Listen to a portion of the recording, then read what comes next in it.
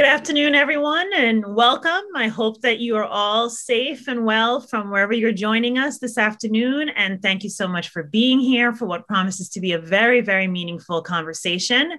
My name is Michelle Stephens. I'm a professor in the Department of Latino and Caribbean Studies and the Department of English at Rutgers University, New Brunswick. And I'm also the founding executive director of the newly established Institute for the Study of Global Racial Justice. So, funded through a major Andrew W. Mellon Foundation grant, the Institute for the Study of Global Racial Justice is a scholarly endeavor that aims to span the university. It aims to serve as a conduit for new knowledge and ideas, providing opportunities for Rutgers faculty, students, staff, graduate, undergraduate students, professional students whose inquiries address racism and social inequality to work collaboratively and effect meaningful action and positive change in bringing together scholars from multiple humanities disciplines, but also humanities inflected disciplines across Rutgers. So this would include from law to language, from philosophy to art, from history to gender studies, from politics to policy reform. The Institute serves as a university wide intellectual corridor that escalates the likelihood that our explorations and findings will inform real world decisions, providing solutions to problems that have been increasingly thrust into sharp focus in the United United States and around the globe. So, given this focus of the Institute, I cannot state strongly enough what a pleasure and an honor it is for me to be asked to play this role of welcome, welcoming all of us and of introducing the Louis G. Gambaccina, Gambaccini Civic Engagement Series Program on behalf of my colleagues at Rutgers University's Eagleton Institute of Politics. So, first, I'd like to say a little bit about this series as a framing context for our conversation today. Presented by Eagleton since 2012, the Louis J. Gambaccini Civic Engagement Series is designed to promote civic engagement by offering an annual discussion of timely and enduring issues of great significance with the objective of generating real civil discourse and action. Today's featured guest is an exemplar in this regard, described as someone who can, quote, inspire and catapult people into action, not just lip service, enabling them to build power and wealth for themselves and their community. The Gambaccini series was established through the generous support of Lou Gambaccini's family, friends, and colleagues to honor his outstanding legacy in public service and his lifelong dedication to upholding the highest standards of civic responsibility. His goal of always striving and inspiring others to leave communities better and more beautiful than they found them is an aspirational goal, certainly for my institute, a reality of the mission of the Eagleton Institute, and of high value for Rutgers University at large as a state public university. Past speakers in the Gambaccini series include New York Times ethicist and NYU professor Kwame Anthony Appiah, Politico editor Carrie Boothe Brown, the iconic Congressman John Lewis, and US Supreme Court Justice Sonia Sotomayor. Before I introduce with great enthusiasm our featured speakers, I must pause on behalf of the Eagleton Institute to offer some words of appreciation for partners, co sponsors, and collaborators in this event. We'd like to take a moment to specially thank first the Gambaccini family and the supporters of this series, many of whom are joining us out there now for making conversations like today possible. Eagleton would also like to thank Kimberly Peeler Allen, a visiting practitioner at the Institute Center for American Women in Politics, for her help to make today a reality. Finally, I want to recognize and thank the Institute's co sponsors in presenting this afternoon's dialogue, including Rutgers Access Week, a program of the Division of Diversity, Inclusion, and Community Engagement, the Rutgers Center for Social Justice Education and LGBTQ Communities, and the Paul Robeson Cultural Center. I want to pause here on behalf of the Eagleton Institute and on behalf of my colleagues at the Institute for the Study of Global Racial Justice and speak in intentional solidarity with all of these colleagues among our co sponsors, as well as the students of Alpha Phi Alpha, who are the victims of a series of despicable, racist, and homophobic Zoom bombing attacks last week Echoing the words of Chancellor Malloy on Friday, we all stand with you and against hate. We will persevere in our efforts to work toward global racial justice. Now I'm thrilled to welcome the co-founder of the Black Voters Matters Black Voters Matter Fund and Black Voters Matter Capacity Building Institute, LaTosha Brown. Brown is an award winning visionary thought leader, institution builder, cultural activist, and artist and connector. She's a nationally recognized go to expert in Black voting rights and voter suppression, Black women's empowerment, and philanthropy. Brown is adamant about ensuring that all human beings have access to quality education, safety, security, peace, love, and happiness. She has raised millions of dollars to support social justice causes and created projects that bring more investments into marginalized communities. She's described her work as not rooted in strengthening political systems, governments, or institutions, but in the advancement of people. In recognition of her talent, expertise, and achievement, Brown has been featured on CNN, HBO, MSNBC, and Fox, to name a few. She is the recipient of the 2010 White House Champion of Change Award, the 2006 Spirit of Democracy Award, and the Louis Burnham Award for Human Rights, as well as the 2018 Bridge Jubilee Award and Liberty Bell Award. Brown proudly serves as the founder of the Saving Ourselves Coalition, a community led disaster relief organization that helped hundreds of families in the aftermath of Hurricane Katrina. She currently serves on the board of the National Coalition on Black Civic Participation, the Southern Documentary Fund, the U.S. Human Rights Network, and the Congressional Progressive Caucus Center. Leading our conversation this afternoon is Marilyn D. Davis. Davis is a nationally recognized political strategist who previously served as the National Director of Community Engagement at the Democratic National Committee, where she led a team responsible for engaging stakeholders in the African American, Hispanic, AAPI, Jewish, LGBT, youth, women, ethnic, veterans, rural, organized labor, and small business communities in electoral politics and civic engagement. She served in the Obama Biden administration as a political appointee at the US Department of Labor, where she worked under the leadership of Secretary Thomas E. Perez. In her current role as Area Director for Government Affairs for the fourth largest telecommunications company, Davis manages relations with elected officials and community partners and oversees legislative and regulatory matters. Before we jump into the program, I want to encourage our audience members to put your questions in the Q&A box throughout the discussion for a special selection during the later half of the program. Ms. Brown, thank you so much for your virtual visit to the Eagleton Institute of Politics at Rutgers. I will now turn the program over to our moderator, Ms. Marilyn Davis. Hi, Michelle. Thank you so much for that eloquent um, introduction. And I am so honored today to one, be here with a fellow Southerner um, also to be here with a fellow member of Win with Black Women. Um, it is my honor to be with my girlfriend in my head, LaTosha Brown. LaTosha, thank you so much for joining us today. Thank you for having me. I'm really happy about being here today. And before I get into the questions, because I have a series of questions to ask you, because again, you're my best friend, I'm gonna get all into your head. Oh. um, I wanna just turn the program over to you. Um, I know you have a surprise for the audience, so I'll let you take that. Thank you. I just wanted to say thank you for kind of the opportunity. Um, I like to get grounded as we start our conversations. Well, the first thing I did right was the day I started to fight. Keep your eyes on the prize and hold on, hold on, hold on, hold on. Keep your eyes on the prize and hold on, hold on.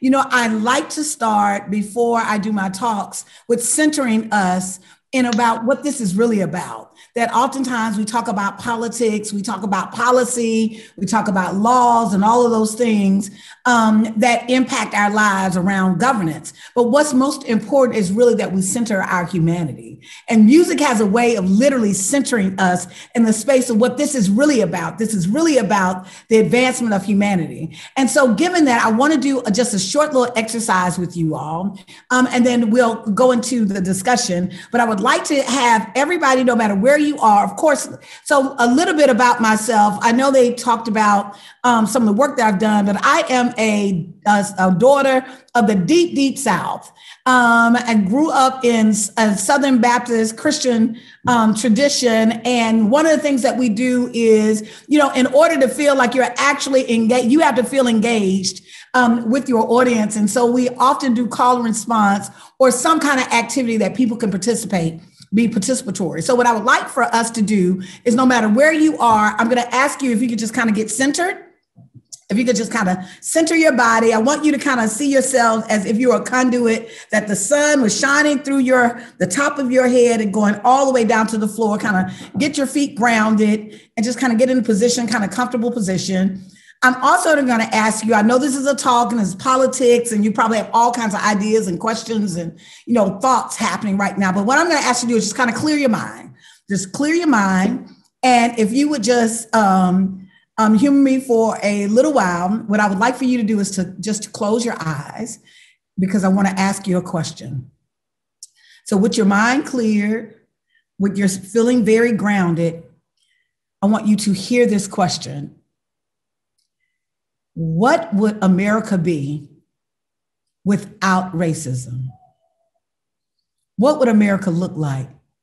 What would be our systems, our institutions, our policy, our leadership? What would an America be without racism?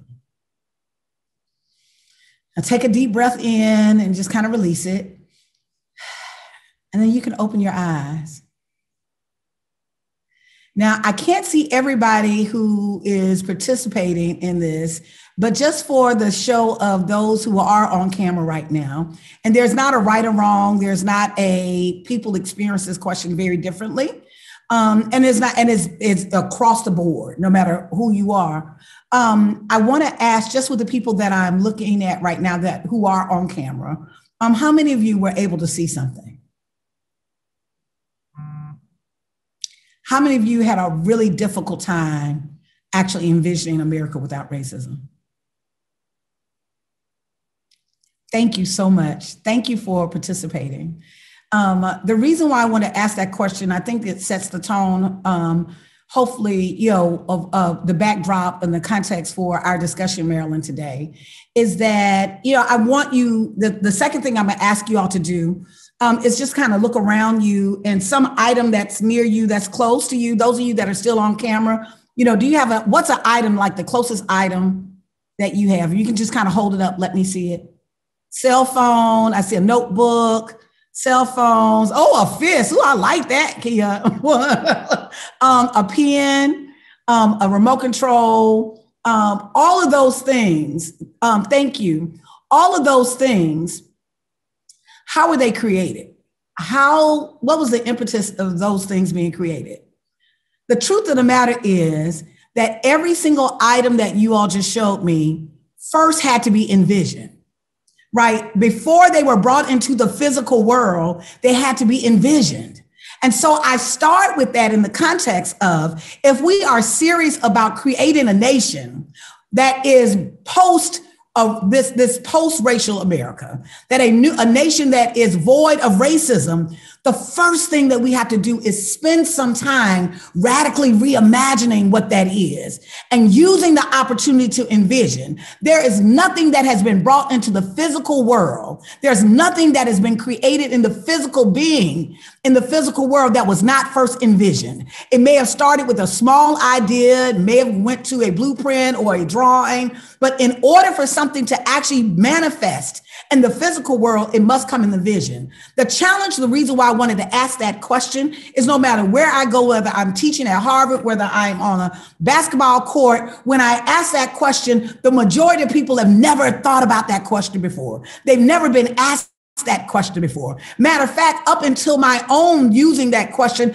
I had never been asked that question before. And the significance of that is there is, it is virtually impossible for us to literally create a nation that is without racism if we have not even envisioned what it would look like. And so, given that, I just wanted to do that exercise to really set the context of the work that I do that is centered around how I'm responding to what is in the moment but also what is the responsibility for us to be visionaries, to really radically reimagine every single system that's in this country. So thank you, Marilyn, for giving me the opportunity to do that exercise. So I appreciate you. And thank you all for participating. Wow, Tosha, that was amazing. One, let me say, I came from the labor movement. So the call and response between being in labor and being a Baptist is part of my, my, my identity and, and I had never experienced it like this before. So I thank you for bringing it to the forefront. Um, but I want to I want to go back to something that Lachelle said in our Q and A. She she she highlighted the song you sang, and I mm-hmm. wanted to just that that song touched me to my core because it took me back to Chapin, South Carolina, to that the, the AME church was I was born and raised, but those types of hymnals was part of the the culture there. And, and I want to go back to Selma, Alabama where you're from, where you were born. Selma has such significance in our history, and, and, and, that those of us who are in this movement, we remember or we've read about Bloody Sunday. We've some of us have had the opportunity to cross the Edmund Pettus Bridge. But but I want to pose a question to you because I want to understand better my best friend. What was it? What was who was it that inspired you to pursue this walk? Who was it that that instilled in you that no way that you can make a way out of no way was actually possible?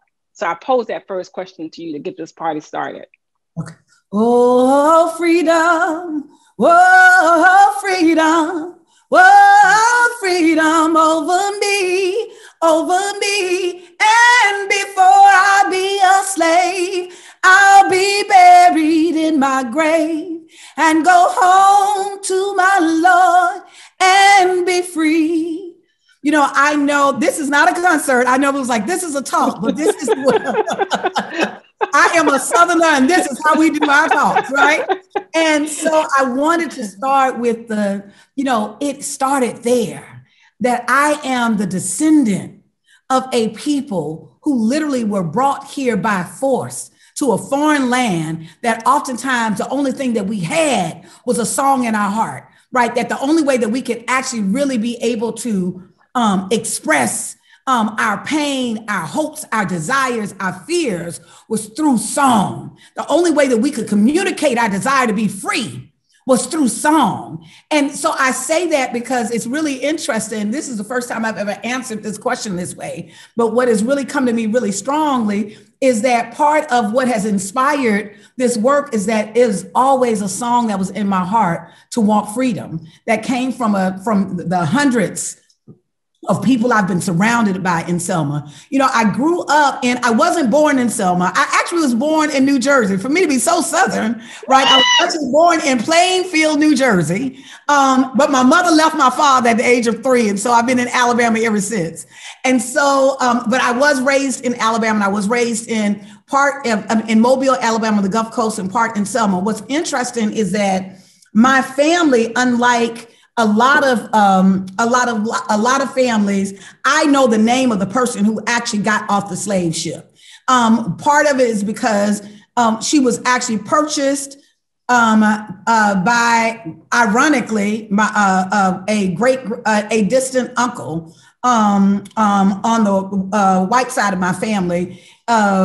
She was my great great great great grandmother she was purchased 30 minutes away from the house that I grew up in.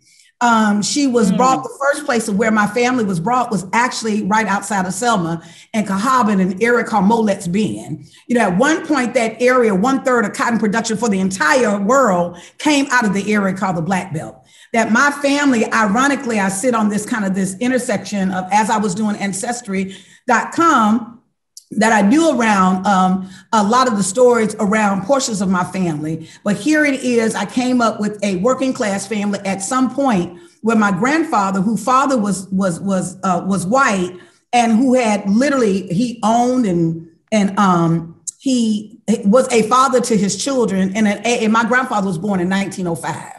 So this is a mixed mm. couple in the deep south in Alabama in the late 1800s. You know, and the one thing wow. that the family was really clear about is that what protected them is that my great grand my great grandfather had land. The fact that he wasn't he was a white man um, and had land, it provided some protection um, for them and some independence. Um, unfortunately, when my grandfather died, the property that his his children he had given his children were was taken by their white cousins, and so my grandfather, mm. latter in age, had to move to Mobile, Alabama, and start working as a janitor on a shipyard, um, and and start all over. He no longer had um, his inheritance, and so I raise that because all of that I grow out of you know, I would love to give you this story around, you know, I saw this person one day that was an activist, and that is what inspired me, and I was moving forward, but that's not my story.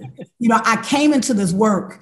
Um, in many ways, I was called into this work. I was probably in this work before I even recognized um, uh, that I was a part of the work. And what I mean by that, it was never my desire to, um, I'm going to grow up and be an activist. What I thought was I was going to go to school, I was going to become a corporate attorney, I was going to make lots and lots of money, I was going to marry a rich man, have two and a half kids, and a dog named Jed, and all was going to be well, right? And so, you know, but there are two things that I think are the kind of foundation and why I share. Um, the story of my family is that my the whole trajectory of my life has been in this backdrop of the deep south and where i saw black people experience so much injustice right for no other mm-hmm. reason but being who we are and so part of that um, and even as a child, it always bothered me the abuse of power to recognize there were two things. I always tell this story. There were two things um, that I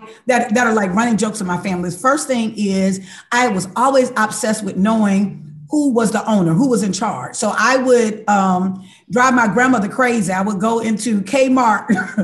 we would be in Kmart, or we could be in the mall. And I was, and I called her Mama. I was like, Mama, who owns the mall? And she's like, Baby, I don't like who owns the mall. I don't know who owns the mall. Any store we went into, I want to know who was the owner, who was in charge. Um, not sure where that came from um, initially, but I've always wanted to know, even as a little girl, that we were in Dairy Queen. I want to know who owns Dairy Queen, who is in charge, you know. And then the second thing is, I always had um, this visceral reaction of seeing people abuse their sides, use their power to actually um, hurt people. Um, I I never. It was a, a bully. The bully could be five times my height um, and my weight, I was gonna take him on. It didn't matter whether he could beat me or not. You know, he was gonna have to. He was gonna have to give his best shot because I was gonna give him everything I got. You know, if I saw him, she, he or she, um, um, picking on someone less. So, you know, as I've gotten older and I've thought about kind of those pieces, you know, it seems like I've always had this this this natural um this natural um inquis um um kind of thought and, and, and was drawn towards this concept of power and the use of power and who had power. And so as I got older, I think activism became a space. And then there was always growing up in the South, you know, something about the railroad tracks were magical. I don't know why they were so magical, but for some reason on this side of the railroad tracks, the homes looked a certain kind of way. And on this side, poof, they looked a different kind of way. And I wanted to know what was so magical about the railroad tracks. And so, in the backdrop of both of those things, I think they led me on a path of trying to understand how could I impact power? How could I prevent those and disrupt those that use abuse their power against our community? And how could I literally figure out what was the magic in the railroad tracks, right? And so all of that so kind of yeah, Marilyn, I'm sorry. So this is a good segue. This is a good segue to the next question, which is yeah. you pursued a position in public office. Was it because of the power that you that you recognized that elected officials had? A and B in running for office, what was the lesson that you learned? So, so the funny thing is, all my answers gonna be probably be the like, like that's that shouldn't be the answer. The answer that was not my thought at all. I was actually recruited to run for office. That was not even on my radar. that my mentors, I have been doing education. Um, I've been doing education reform advocacy work, and so as a young woman, you know, my first or my first work in the organizing space um, was with is youth leadership development. And so in the state of Alabama, the, the education system was just atrocious, um, particularly when you looked at the, the, the inequities around how schools that were in black districts were funded and how schools in white districts were funded. So much so that the state actually was sued and had to be on a consent decree. Um, the, the education budget was so abused and seen as a pork barrel um, for elected officials that they actually had to separate the education budget out of the general budget to prevent the elected officials from um, exploiting and misappropriating and using the money for pet um, pork projects, right? And so out of that, it was really in my, my education advocacy that my mentor asked me, who happened to be a state senator at the time, he asked me to run for a public office. He asked me to run for the state board of education seat. He was like, you know, um, this you're doing a lot of this work. This seat is coming open. You should run for it. You know, I'm young and full of energy, and I'm like, not? Right? Did not know what I was signing up for. Um, I literally, I don't know if people on here know, I don't know if the students remember. I guess they're still kind of fed at Kinko's, but Kinko's used to be the spot. That was like the the the you really got everything done at Kinko's, right? Girl, you're dating yourself. You're dating yourself. I know, right? Right. Um, and so Kinko's was my campaign office. I made all of my campaign materials out of Kinko's, and my my actual physical office was a uh, was a Volkswagen Jetta. That's all I had. I had a I had a a, a moving office, which was my girlfriend's car because her car was in better shape than my car, and we had Kinko's, and as a result, I I ran for state board of ed- education, which made I, I ran statewide um, in 20 counties um, in the district that it covered. And so, ironically, um, I'm saying that because I, ironically, it was at the end of me. Um, I had gone to meet with one of the most powerful people in the state of Alabama and left out this is a whole nother story left out with a check expecting it to be a hundred dollar donation check and it wound up being ten thousand dollars and it almost scared me to death and i didn't understand what happened went to my mentor to find out that in fact i was leading in the polls that i was um, i was wow. leading in the polls and it was at that moment i'm talking to my mentor and i and he said you know what you might actually win you might win this thing and i'm looking at him and that's wasn't I supposed to win? He was like, well, yeah, I mean, and I realized at that moment that actually he didn't think that I had a chance to win all of that time. I was running because the other candidate was the, the he was over the education budget, and the, the person who was sitting in that seat had went against some major um, policy pieces that he desired. So I literally was I was the threatening candidate. I, he didn't think that I could win for real. So I was like, wait a minute, but I thought I was supposed to win. So anyway, that that that's part of the reason why I ran. Um, I ran a grassroots campaign um, I ran against, I was the most unelectable candidate that won, particularly in the time where traditional candidates around electability, one, I was a single mother. I was 28 years old. I was a young person who had never run for public office before. For the most part, I was broke. I had 15,000, I was making, I was working a job. I made $15,000 a year. I was broke, right? Um, I, I had none of the credentials um, that my opponent had, who had been a 12 year incumbent.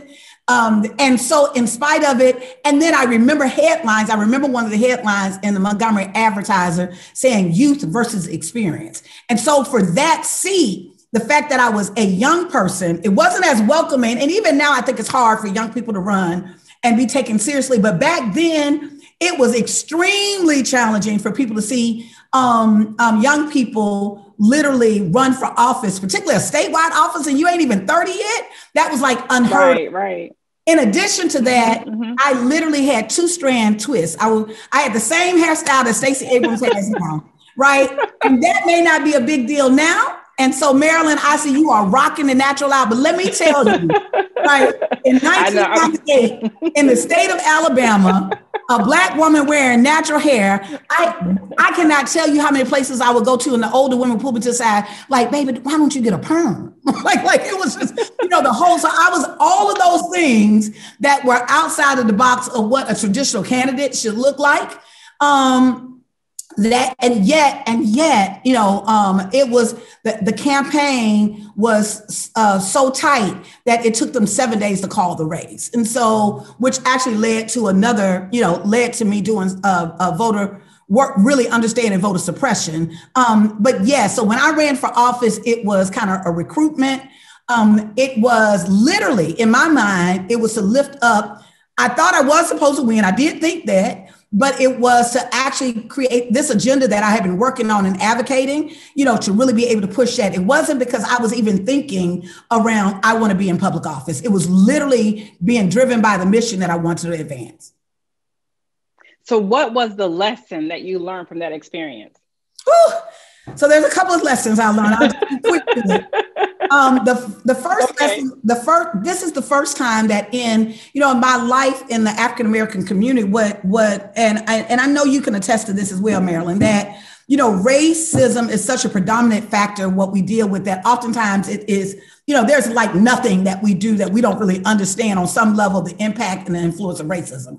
You know and so i was aware of that. What i realized that i had been very naive around was sexism and sexism even in my own community. And so um, mm-hmm. I grossly underestimated that. I knew it, but in many ways, I, did, I thought it wasn't as bad as sex as racism, right? Until as a young woman, um, when I would go around to churches to speak, they would deny me the opportunity to be able to come to the church. Um, they also, in one instance, which was a really painful instance, um, that has happened to me actually several times, including in 2018. That's another story. Um, I was because I was I was literally told because I was a woman, I was unable to speak in the diocese. That my male counterpart could speak from the diocese because he was a man, and I had to speak from the floor. And so mm. I that was um, that was eye opening for me around how um, oppression finds its way, it ways in, in, in, in many different corners and how sexism was as much a driver and as much a barrier and as much of an issue for us to pull down as racism. And throughout that process, there were there were there were many things I, I experienced. Um, like I said, I could I couldn't get past my hair. Like I was in conversations instead of I couldn't even get past my hair. For some reason, my opponent could be bald headed. He could have a whole hole up here. Nobody cared. But some reason my hair mattered, right? Some reason what kind of right. I mattered, right? Uh, uh, mattered. The way that I where I sat who I spoke to first. I, there was a different kind of standard and expectation on me as a woman and as a young woman than on my male counterpart. And so that was one of the lessons I learned. The second lesson I learned was um, around um, organizing. That from that day to this day, what I know is that he who organizes, out organizes, is who he who has a he or she who has the advantage of winning. And that what I Absolutely. recognized that morning, that in that in that campaign, that although I was not the favorite candidate, although I was all those things I shared with you all, that by traditional standards made me not the most electable. Um, what I had is I had organization that I was an organizer. And as a result, the way that I worked hard, you know, um, I gained ground was through organizing. So it's always that campaign has always convinced me of the power of organizing, that organized power is realized power. And the third and the final thing is because of what I experienced, um, I, that is when I was slapped right in the face around voter suppression. That I knew voter suppression, I knew of voter suppression in the 1960s. You know, I knew that there were some isolated incidents. What I did not know is just how pervasive um, voter suppression was, um, and still main to be uh, um, still maintained. Uh, was that system was still being maintained, um, particularly in in Southern politics or even in politics that Black people um, are engaged in. The short story around that is it's seven days it took to call the election. On the seventh day, when the election was called, um, at the time, I was down by 117 votes. I think it wound up being a, a, close to 200 votes. um, which mm-hmm. the difference between myself and my opponent, they certified the race. On the seventh day, you certify the election. So all the races. So on the race was certified at 12 o'clock. At 12.05, my mentor called me. Senator Sanders said, brace yourself. The chair of the Democratic Party is about to give you a call. I, at 12 o'clock, I mean, when I knew that my opponent, before they certified it, had won, I called him, I congratulated him, I conceded, I was fine. I was like, I did a good run, that was a good first out, and, and went on about my business. However, you know, I get this phone call at 1205 that the race had been certified at 12 and the phone call went something like this. LaTosha i'm so sorry to make this phone i make this call to you but the sheriff of wilcox county which is a county that i had carried that happens to be located in the black belt where i was strong um, the sheriff of wilcox county just found 800 ballots that he had 800 votes that he had placed in the safe that he forgot that he put in the safe and so he just called us to let us know that he had these 800 ballots. Well, in my naivety, I mean, that's an easy, that's an easy solution. You got the 800 ballots, right. you know they're valid. He said he put them in the safe. They've been in the safe place.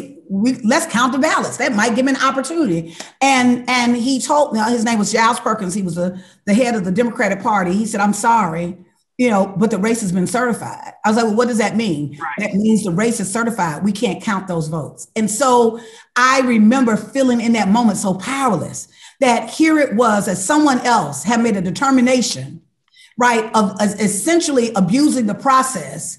And his candidate, in fact, won he was never held accountable right. or no one connected to that was held accountable. And so at that moment in 1998, I realized how insidious, how voter suppression was a threat to democracy. And that's literally when I started my journey. What we did in 2018, which is actually years later, decades later, like was literally informed by my experience in, 2000, in 1998.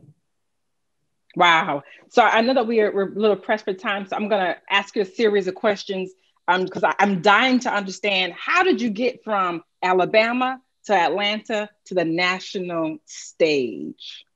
Was it was it uh, Doug Jones that took you to the national stage, or were you already there before Doug Jones? So we I want to ask that question, and then I also want to get to to win with Black women too. Okay, so let's if you want to wrap into. No, I actually wanted the answer. I'll be Okay, I'll try to be brief because I know we want to open up for, for questions. They're actually one and the same. So that's a great, great question. They're actually one and the same. So um, essentially, I, I had always, my work has always been regional work. You know, I, I've always had this belief that how, as goes the South, goes the nation. And so, over a number of years, I've been doing, over the last 27 years, I've been doing work in Alabama and Al- Mississippi and Tennessee and, you know, and all, all, throughout the South outside of Black Voters Matter. This is before we founded Black Voters Matter.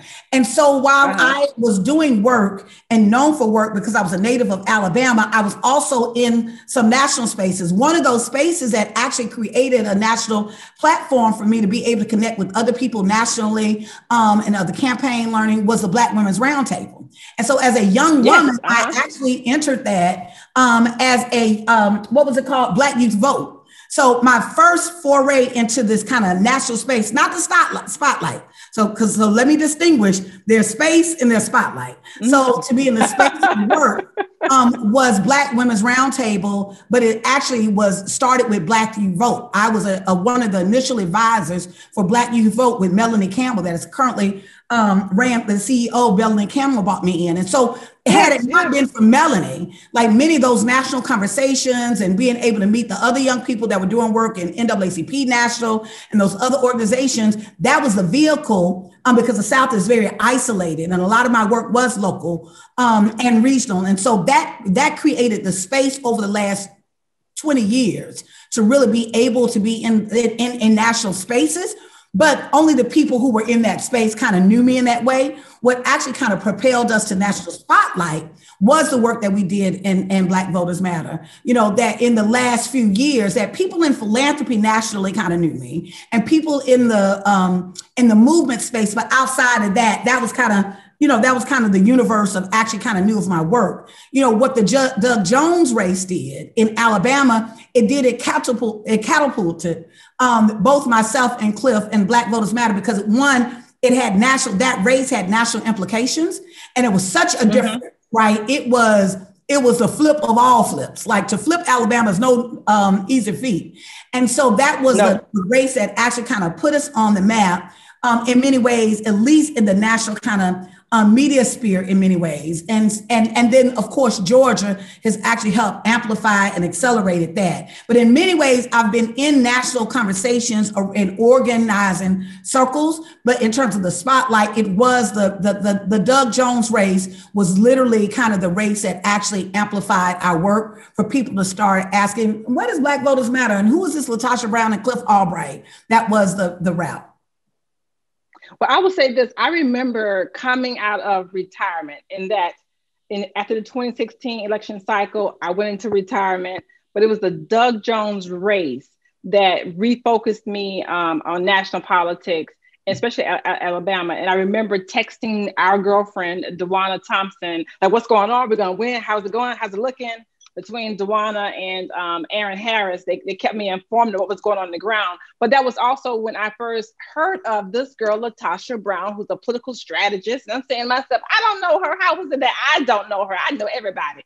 But I, I, I first introduced you there. But it was through the work of Jotaka Eaddy, who started the Win Rock Win with Black Women mm-hmm. movement that I got to actually hear and be part of those Sunday meetings that you were part of as well. So I want to talk to, or I want to ask you, what was it like?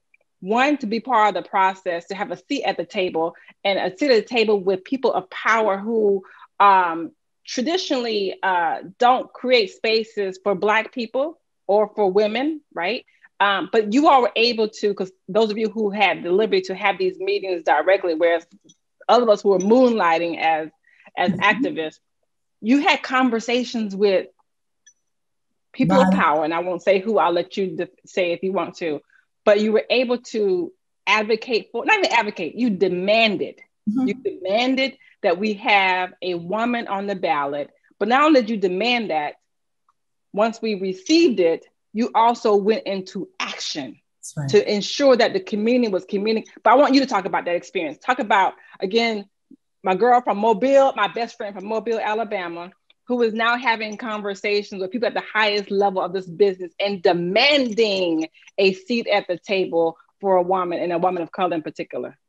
Absolutely. Thank you for that question. Um, and thank you for sharing. You know, I do a shout out to Jotaka Eaddy. And, you know, the beauty about Win with Black Women is that it was organic. It was Black women coming together, using our power, using our network, using our skills um, to, to, to use our collective power. And so I think that was, I think that in itself is instructive. I think that that's a lot of, it even gave space.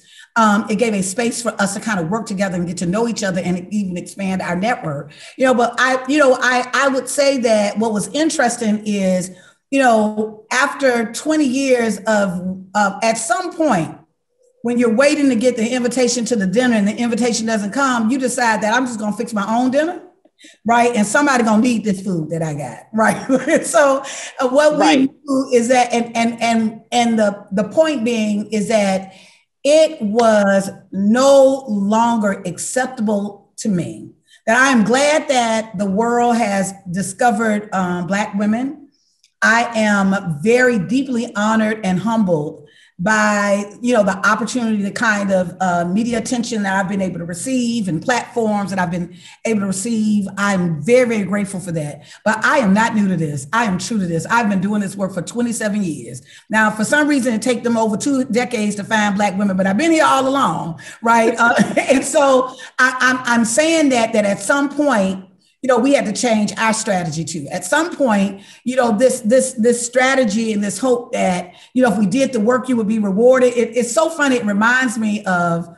Um, this is going to seem like one off, but I promise you, this was instructive to me. When I was a um, I was a cheerleader in, in high school. Um, and, you know, now the circumstances were really challenging in terms of, you know, how I was a cheerleader. I was a cheerleader. There were 13 cheerleaders. There were um, in a school that was 65% Black. Um, of the 13 cheerleaders, all of the cheerleaders were white, and there was one Black cheerleader, it was myself, um, who had tried out. There were over 113 girls that had tried out.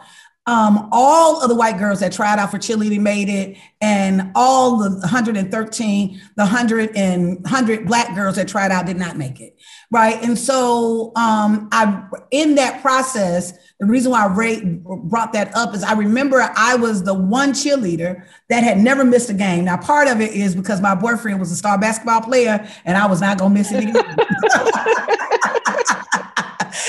so I, I did not miss. I prided myself that I had made every single game in the season, um, and I was the only one. And I remember on the day where we were getting awards, I was so convinced that I was going to get an award because in you know normally that's acknowledged and it was never acknowledged. They hadn't even thought about it. Even when I asked later, it was like, oh, we didn't even think about that. It was insignificant.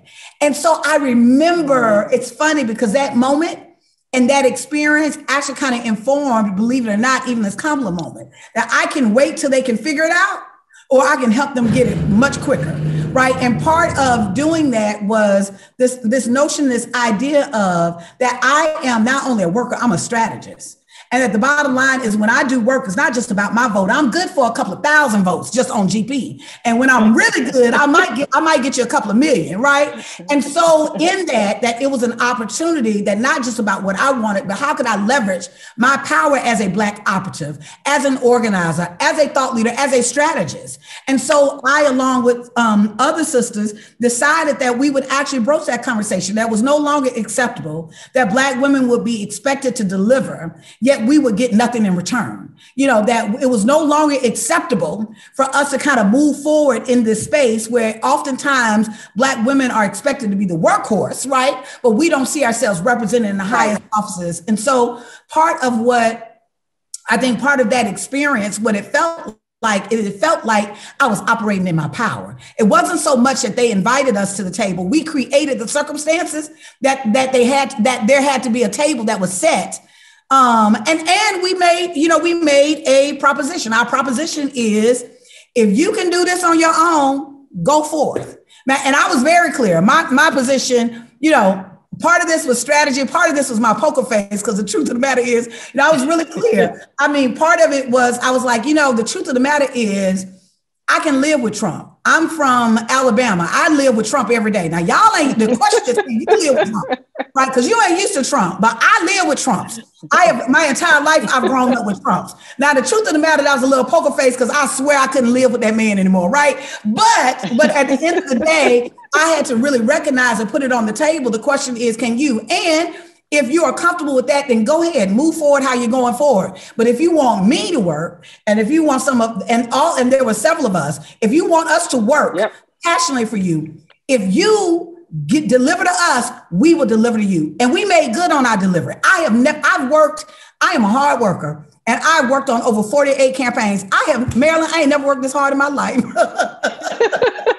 This last Girl, get me started. I have, I have never worked this hard. I was like, there is no sleep for the weary. My body don't even know how to go to sleep now from that space. My my my point though, you know, in that is that part of the, the what I wanted to raise was that we literally had to use power that we had to actually operate. What my power is, is literally being able to know that I, I galvanize, um, that I'm a strategist, that I galvanize hundreds, thousands, millions of votes. And so instead of just allowing, waiting on, like I was a cheerleader, learning from that, waiting on, okay, I did the work, they're to recognize I did the work and I'm to get an award. I'm not even to wait on that anymore. I'm to tell you, listen, this is what I did. This is what the expectation is. This is what I'm willing to do, right? If you're able to deliver your part, but we're not going to move forward. And then in our community, we're not, we're constantly expected to deliver, and you're not delivering for us on the front end. Well, I, I appreciate the work that you all did. Um, we all, I think I'm still recovering from all the from the Sunday calls and the activities that that, that came after them. But I, I want to pivot because we're going to take questions from the audience. So if anyone has questions, please use the Q&A feature to um, put your questions up and I'll read them. But while we wait on audience questions, um, Natasha, I want to ask, because I'll be remiss if I didn't do this. Like people want to know, how did you guys win in Georgia? And can that be replicated? And, and, and I want to give a shout out to all of the women who were part of um, the, the, Georgia efforts, and you know more in a person than I do. Um, the Tamika Mallory's, I saw her traveling around the state. Um, DeJuana Thompson traveling around the state. Um, here in New Jersey, our girl Stephanie Dixon was down in Atlanta, well, in, in uh, she was in Savannah. Um, I know there was Tamika Atkins, there was Helen Butler. Of, of course, you know everyone knows uh, the work of, of Stacey Abrams. One, I want you to talk about the people who came together, men and women, um, who you may know more intimately than we than I do, but also talk about what you did and can that be replicated in other places. Thank you. I also, you know, uh, uh, just a quick shout out, just some people that came to my mind too is Nsé Ufot, who runs the New Georgia Project, Deborah Scott that runs Georgia Stand Up. And listen, you know, the sisters, let me be clear now, sisters were out there doing their thing, but there were some brothers who were also holding the line and working hard. One of them is my partner, Cliff Albright, who is co-founder, and executive director, Mondale Robinson, um, John Taylor, who works in labor. And so this was a collective effort. You know, it is, that is a whole kind of discussion on itself in terms of the blueprint of what we did. But I do want to just pull out a couple of distinctions around what made this one really different. You know, um, in terms of the politics, because I know this is the Eagleton Institute of Politics, you know, in terms of the structure on how you get the vote out, that doesn't change much, right? Like, you know, doing the phone phone calls to text messaging, that's like that's like retail politics. Like that just works. Right. But the, the challenge, and I think even sometimes the, the party, particularly, I think both parties, but the Democratic Party in particular, since I'm more intimately um, knowledgeable of the of, of, of um, kind of the workings of the Democratic Party have like literally, you know, kind of relied on the retail politics part of the model around, you know, um, the, the, the, the using the, the data, doing the voter contact, that kind of thing. And then there's this assumption that if you make X amount of voter contacts, and that's going to win the race. How has that worked out for us, right? That that in itself, right, you know, it has not been the issue. So what was the dis- the difference? What were the distinctions? I think that there were a couple of distinctions. I particularly I'll lift up our work, but what I saw happening in Georgia, there were a couple of things. One, I think all all the time that I think that we shifted kind of the focal point. That oftentimes in elections, which is why we started Black Voters Matter, oftentimes in elections, the focal point is either on the candidate having this charismatic candidate. It's almost like the, the Snow Snow White or the Cinderella. You got to have the Prince Charming on a horse that's going to come and save us all, right? And so you need the perfect candidate. You know, or the, the political party has such an interest that it becomes centered around our power. And both of those are frames, that I'm not saying that they weren't used in this context, but if we had relied on those two things, we would be looking at a very different political landscape, right? And so for us, what our distinction, what we did is we shifted the pot, we shifted the focal point. The focal point, instead of it being on a candidate, on this charismatic, amazing candidate that was going to save us all, or even rooted in this notion of like, let's save the party because this is the, the party is the only thing that we have for us.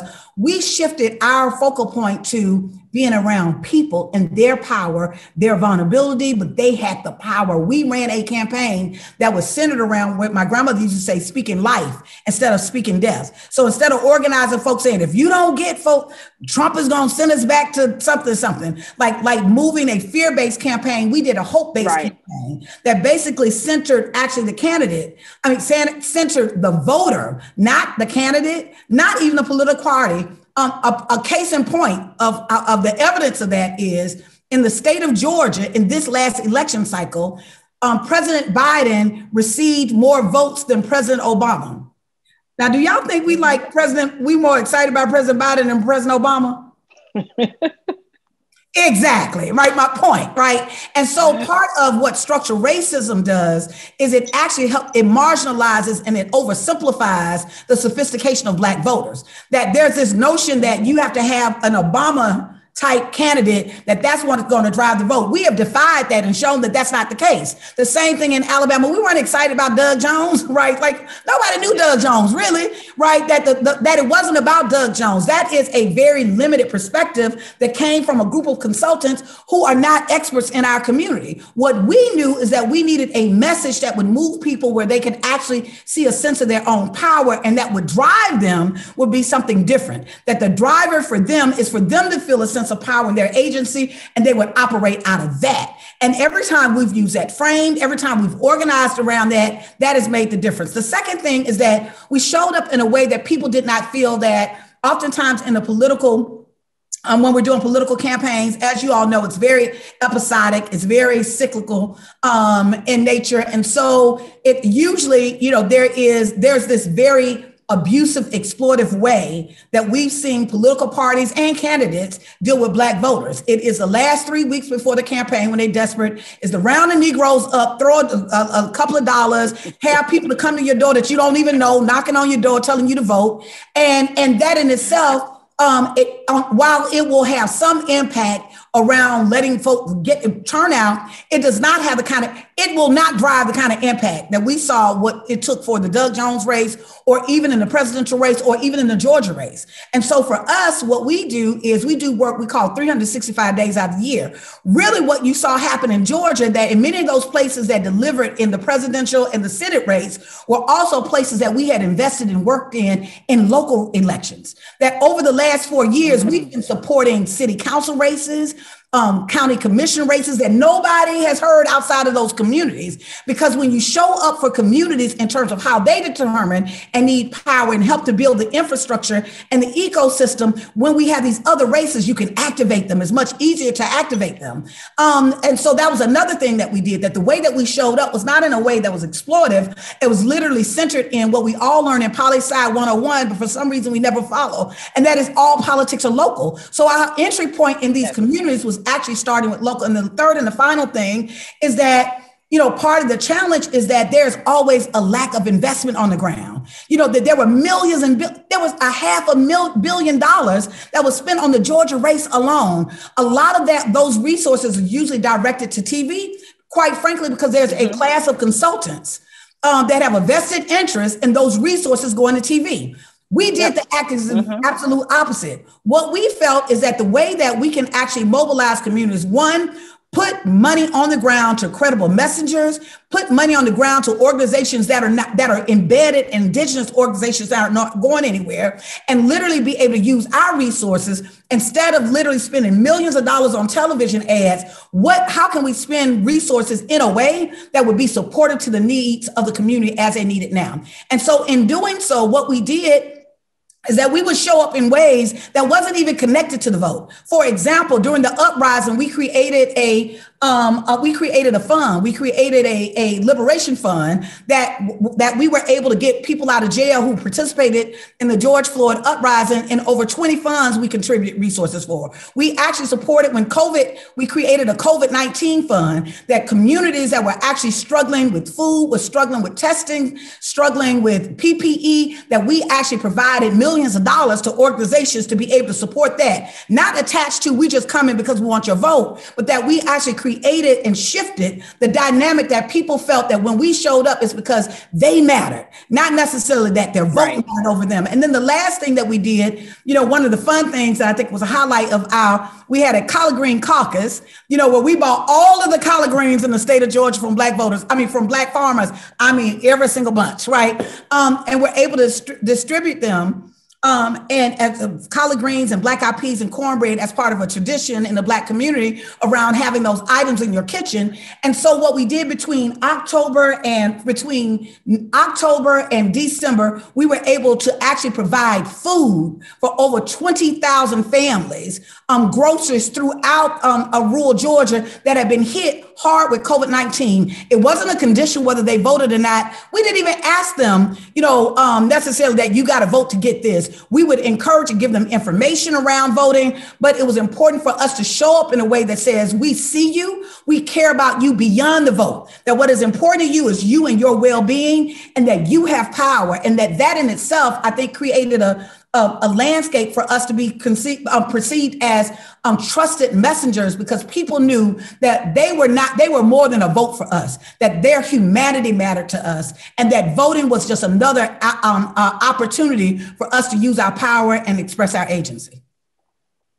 LaTosha, I know we have a few minutes left, but I want us to take a few questions from, from the audience. And one in particular is from Mario. Mario is a student and he wants to know how can they how can students build coalitions on campus to to to promote their agenda um, on campus of, of, of, around issues that are, are, pertinent to them. So can we can we can we take what you did on a macro level and apply it to a micro level at the university so that when Mario goes back to school, whether it's in a few weeks or in the fall, and they want to, uh, you know, mobilize around, mobilize and organize around issues, how best can he and his friends um, do that?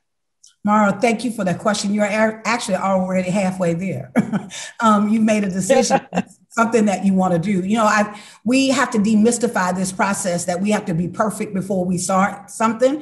You know, if if um, our organization has grown um, exponentially, part of it is because our leadership has been flexible enough that there are a couple of things that I think that we that we did right. I think the first thing was that we had a clear vision. We did not know all the details of, of what we needed to do um, initially, but we had a clear vision of what exactly we wanted to contribute to. And so I think there are three things to do just quickly, because uh, so we can get other questions. But the first thing is going back to my first initial piece that you need to have a vision around what it is that you think that you want to you and the students and the group that you're um, engaged in what part of the work do you want to help with? And have and get clarity around not just not in the how but in the what. What is the ultimate vision? What is it the output? What is it that you're trying to shift the second thing is um, this is going to seem counterintuitive because oftentimes with organizations, you know, if they think like I've got the idea now. I just want people to believe. I just want to enfold them in the idea. We did the opposite. You know, we had an idea, we had a vision, but the first thing that we did, the first six months after the Doug Jones race, all we did is travel around. I, I tease them all the time in cheap rental cars um, around the back roads of seven states in the South, and we listened. That we took the time. I cannot stress enough that if you take the time to listen to the people that you want to serve, they will tell you exactly what you need to be doing. And oftentimes, organizations will have a preconceived idea of what they need to do, and they're trying to force that upon folks and then tell them this is what you need done, right? Instead, so the second thing I would say is get your vision. Second thing is to invest time in listening to the constituency group or whoever it is. Yep. So get a group of students on campus that, to, st- to, to talk with, that you all listen to each other around what is your collective vision, what it is that you would like to achieve. And the third thing is, you know, I think it's it's it's getting at least some kind of mentorship.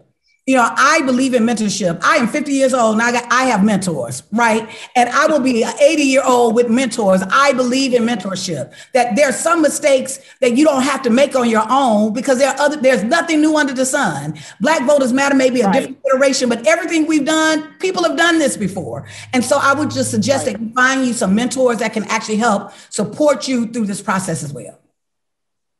Now, now Darren McCauley had a question, and I think this is relevant because during the campaign, we saw um, the impact on COVID on traditional grassroots organizing. And for the most part, um, especially here in the North, the Northeast in particular, in Pennsylvania, New Jersey, and the Northeast area, we shut it down. We didn't do any door knocking. We didn't. We just did phone calls and used social media um, and you may have, you may, I'm not, sure if you gave any thought to this, but there was a point in the campaign when that was the strategy, right? But they had to pivot back to the traditional door knocking in a safe environment, right? So I want to I want to pose a question to you, and, and Darren raised this: How going forward? Because we I, I foresee COVID being here for next year, for next fall elections, we're going to have to contend with COVID, right? So how can candidates who are going to run in, in June for in New Jersey in particular or, or in November, how would you recommend that they start to organize their campaigns in this COVID environment so that we can we can engage with with the voters in a safe environment like you all did um, down south?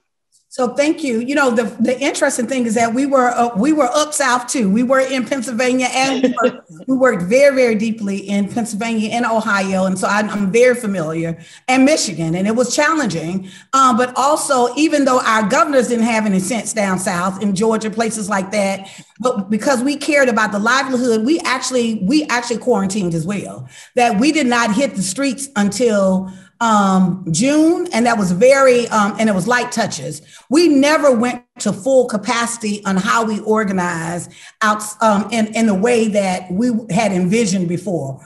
Our entire operation had to be adjusted to the new reality around COVID 19. And so the first six months where we had planned on being out in the streets, we had to literally be able to do a couple of things. We had to pivot and use um, the, I did and increase and expand our digital footprint. You know, most of the time, our digital space, we saw that as like the extra. That was kind of like the extra in the organizing. It became the core meat of our organizing. And so what we had to do is we did virtual town halls in all of our, our communities. We had to do virtual trainings. We had, like everybody else, you know, I called myself at the end of like, I think month two, I was like, I think I'm a zombie. I was zoomed out, but this was the platform that was safest.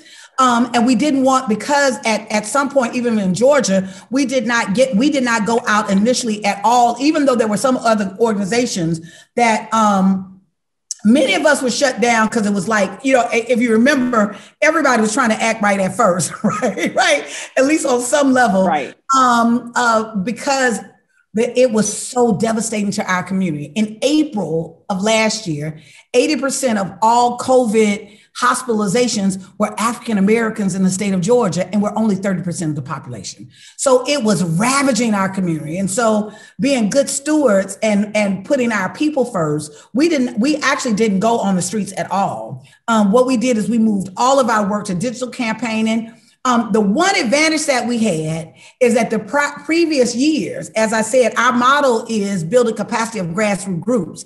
And so we already had a network and an ecosystem of building a trust. So we could actually get a lot of the campaigns, those campaigns that people are parachuting in, they don't know folks. They're coming in and they're going door to door.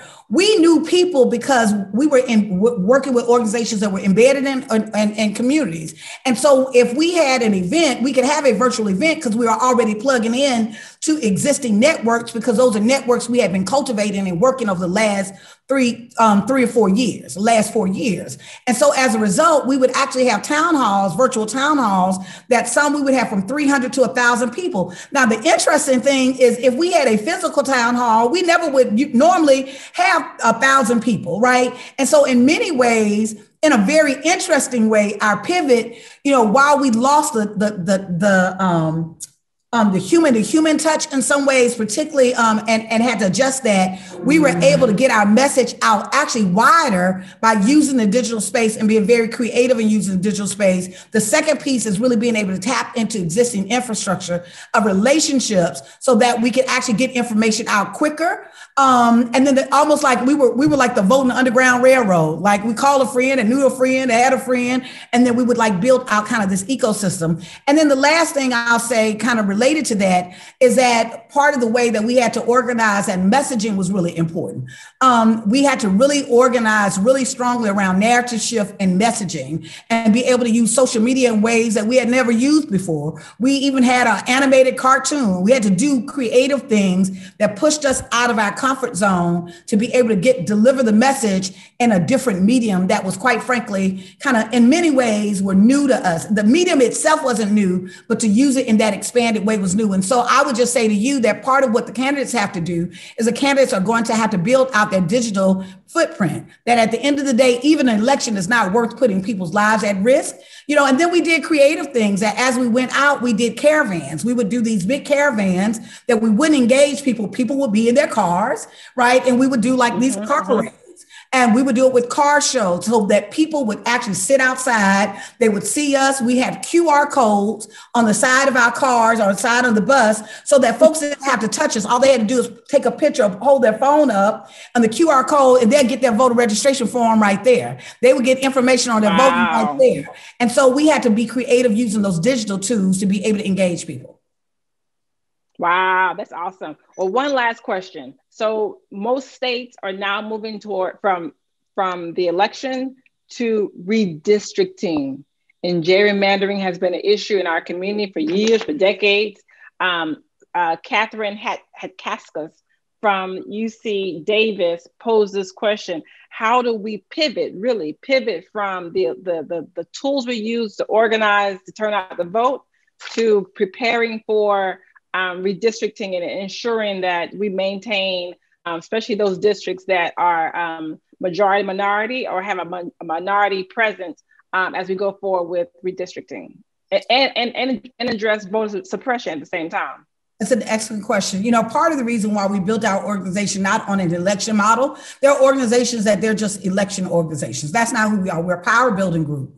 Our goal was always our organization. Actually, we have Black Voters Matter Fund, which is our C4, but our C3 is Black Voters Matter Capacity Building Institute. We were very intentional about building an organization that could build the capacity groups, capacity of groups to do work precisely for that reason. That many of the organizations that we work with, that we had decided that we wouldn't just work with organizations that did voter work, but that we would work with organizations that did education reform. Work, some of the groups that we're doing, we're doing prison, prison abolishment work. Some of the groups that we work with with civic engagement groups, some of them with churches, but that part of what we would do is invest in the ecosystem. As a result, last year we actually invested over $10 million and almost 800 Black-led grassroots groups to help them build their capacity where we actually cut checks to them, right? Um, for them to build their capacity so that they could be stronger, so that literally they could always pivot. That the whole idea is that the infrastructure wouldn't just be there for a candidate or for a campaign, but that you would have that existing infrastructure